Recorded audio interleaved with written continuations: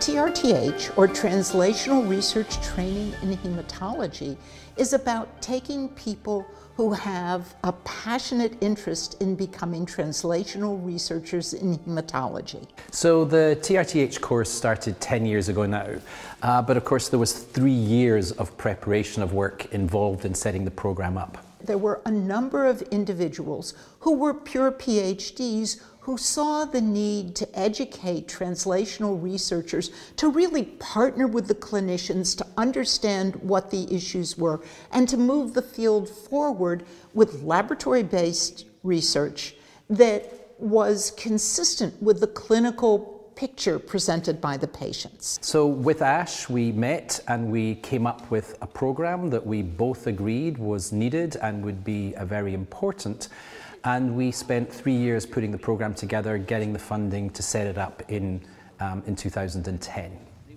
We accept people with an MD degree. We accept people with an MD PhD degree, and we are also probably the only hematology training program that accepts people who are PhDs only. The key aspects for planning the program going forward are to find the stage of career, whenever it is, it may change in 10 years, where people are feeling most career sensitive. Uh, because that's where they can really benefit from the support of mentorship. And we put all these people together in this very intense week. People discover how passionate not only they are, they know how passionate they are about translational research, but they uh, discover that there are other people just like them. For me, that was important because I was at the you know, tail end of a postdoc looking to get an academic job. And within two years of leaving TRTH, I had that academic job and I'd sourced a lot of information from the people that I'd met here. You know, either from the faculty side of what would universities be looking for, or from the trainee side in terms of help for applications and what should go in and how should it look and these sorts of things. So, so for me at that career stage, it was really valuable. I think they are truly going to become the leaders in this field in the future, but we need to give them a little more support for that unique position that they're going to occupy.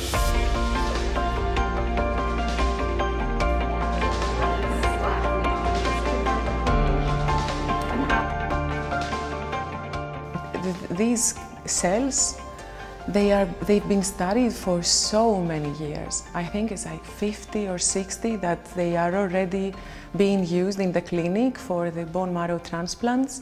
But still, we don't understand their biology completely. And also, we don't understand how all these um, hematopoietic malignancies arise and how we can treat them. Most of them, they are still the treatment is not perfect and they are not curable. So this really intrigued me to, to get into this uh, field already since my uh, PhD.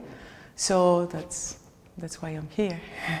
I would say definitely apply and don't think that you're not qualified um, because that's what I thought. I thought that I would not get in, that I'm not the ideal applicant because I, um, I don't have a, a PhD, but that, that really wasn't the case. I was very pleasantly surprised by how much um, the uh, faculty really believed in me and they helped me recognize these other strengths that I had in terms of being able to conduct research and ask meaningful questions. So I would definitely say that they should not think twice about applying.